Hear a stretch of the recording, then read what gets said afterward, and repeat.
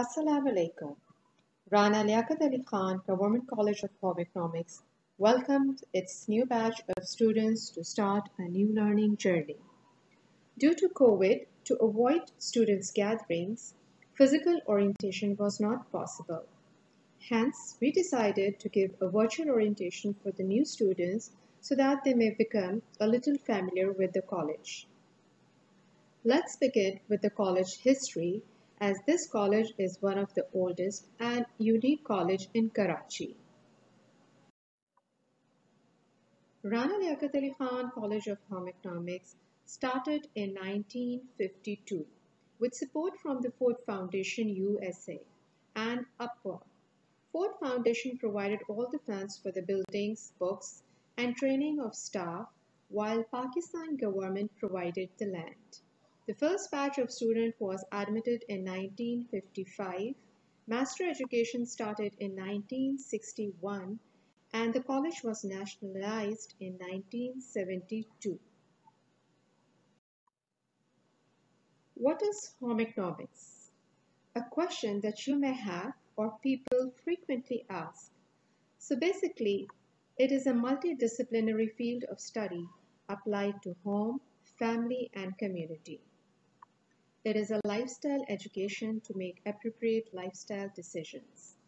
It empowers women, it fosters optimum human resource development, and strengthens the families. Let's have a look at the different academic blocks situated inside the campus. The college has a spacious auditorium which was constructed in 2002 this is the administration and principal office block. Students are requested not to roam around and sit in this area, but for any official query, admission, or exam form submission, students can visit the office. The office staff there would be available for assistance. This building has two departments, one is home management and the other is education and research department. All the science and humanities subjects classes are held in this building known as SHB, Science and Humanities Block. This is the Nutrition and Dietetics Department. Right next to it is Apparel and Textile Department. This is Arts and Interior Design Department. This is the Family and Human Development block. Students have to move from one department to another to take their respective classes according to timetable. This is the college library that has around 2000 books and also digital library where students have access to internet, online books and research articles. The college also has two computer labs. The cafeteria area is semi-covered and offers a variety of delectable snacks available during college hours. We also have a photocopy and stationery facilitation in the same cafeteria area. As I told you before, that home economics is a multidisciplinary field of studies. Home economics has six major areas where students after inter can choose and learn in their respective areas of interest for four more years. At BS level, the college is associated with Karachi University and BS program is semester based. Let's explore the different areas of home economics and you can see what subjects you have to study and after BS in these specific areas, which doors of profession will be opened for you. Ms. Mahlaka Afreen is the head of the department for apparel and textiles. At inter-level, two subjects are offered. Clothing and textile is offered in first year and family clothing problem is offered in second year. After BS, the career opens for students are merchandiser and product manager, fashion designer, textile wet processor, and textile designer. Ms. Asra Faruqi is the head of the Department for Art and Interior Design Department. In first year, students are offered the subject of applied arts. The rest of the courses are at BS level. The careers after BS in this area are interior designer, color consultant, art and design educator, and CAD designer. Ms. Shahina Sumro is the head of the Department for Family and Human Development. Family Relation and Child Development is offered in second year. After BS, the careers for students in this area of home economics leads them to become a family and career counselor, social worker, consumer advocate, and human resource coordinator. Ms. Fahima Fatma is the head of the Department for Nutrition and Dietetics. In first year, students are offered to learn food and nutrition and in second year they are offered the course of meal management and food preservation. After BS in this area, students can choose their career as a clinical and consultant dietitian, public health nutritionist, restaurant manager, a recipe developer, and food stylist. Ms. Shahnaz Javed is the head of the Department for Residential Management and Entrepreneurship. This department offers courses only at BS level. The careers after BS in this area are Small Business Manager, Human Resource Manager, Lodges and Office Management, Event and Project Manager. Ms. Khalda Jamani is the head of the Department for Home Economics Education and Research.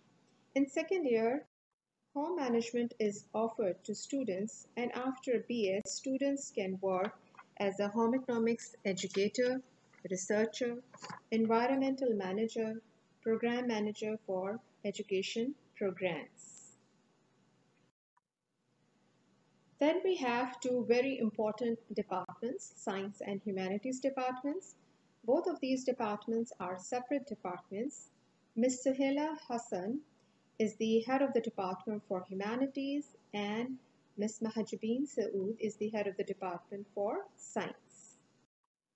In first year, students are offered to study microbiology, Islamia, English 1 and Urdu 1.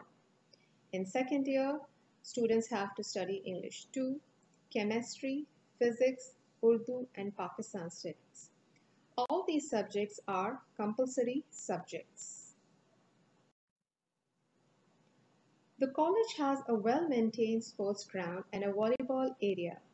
Qualified physical training instructor Ms. Anjum Zahra supervise students' physical training regularly and prepare them for the tournaments arranged by Intermediate Board and University of Karachi. To maintain discipline in college, we expect the students to follow certain rules and regulation. Proper uniform is mandatory. Dupattas and scarves of same color should be worn. White and black shoes with white socks are allowed. Any discolored shoes scarves, sandals, jewelry, and makeup are not allowed. You can also check the details on college website regarding uniform. It is compulsory for every student to wear college ID card and face mask as well. Students are also required to follow SOP for COVID-19 in college premises. College timings are from 8 to 1.30 p.m. Students after entering the college premises will be guided to note their timetables and directly go to their classrooms. As due to COVID-19, morning assembly is suspended. Mobile phones are strictly prohibited. Students should attend classes regularly 75% attendance is required for theory class and 85% attendance is required for practical class. Students are responsible for maintaining general cleanliness in classroom, corridors and open spaces by refraining from throwing trash of any kind around. Sections once made will not be changed, therefore no student will be entertained in this matter. Outsiders are not permitted to enter the college premises without prior permission of the principal. If any student is taking any specific medicine, she has to keep her medicine in her bag. No medicine will be provided by the college. No half-day leave will be sanctioned to student except for any genuine reason. Only mothers are allowed to take their wards with them. If a student is absent in a class or in case of any medical leave, she has to provide an application duly signed by her parents along with a medical certificate.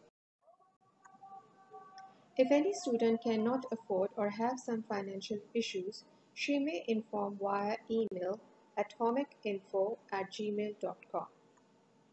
Students are not allowed to go and sit in prohibited area inside college campus. Staff bungalows at the back of the college, non-teaching staff quarters, Near main gate, no students are allowed to roam around and sit.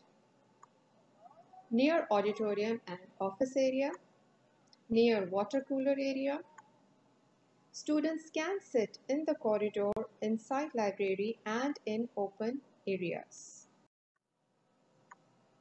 Due to COVID-19, students are required to follow these rules for their own safety and for other safety as well.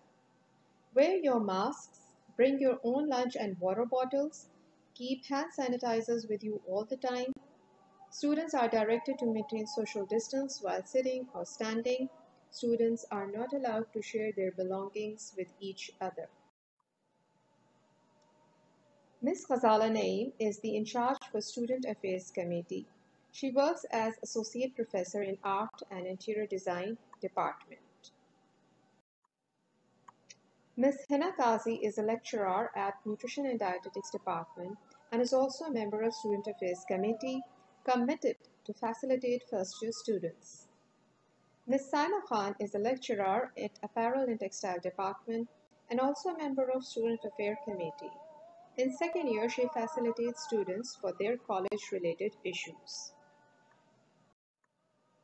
The Student Council is an organized body which plays an important role in college curricular and co-curricular activities. It is established by Student Affairs Committee and run by students. It is comprised of President, Vice President, and General Secretary. Ms. Ruhi Iqbal is the lecturer in Apparel and Textile Department. She is also the Intermediate Committee in charge. She is responsible for solving students' admission and examination enrollment problems. She also allots sections to enter students. We recommend that you visit college website for further information. We also recommend, highly recommend students to join the college Facebook page to keep themselves updated with college news and events.